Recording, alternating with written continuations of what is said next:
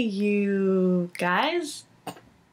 Dear Richard Donner and the other people responsible for the Goonies 2 movie, um, first of all, good job deciding there should be a Goonies 2 movie.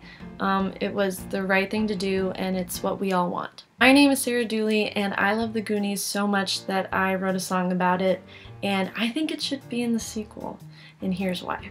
Number one, it's really catchy. It's stuck in my head right now. Um, number two, please. Number three, it kind of sounds like a Cyndi Lauper song, which is cool because she did the song from the original. Um, and number four, please. Please? Please? Come on, it would be so cool. Please? Anyway, I hope you check it out. I hope you like it. And Goonies never say die.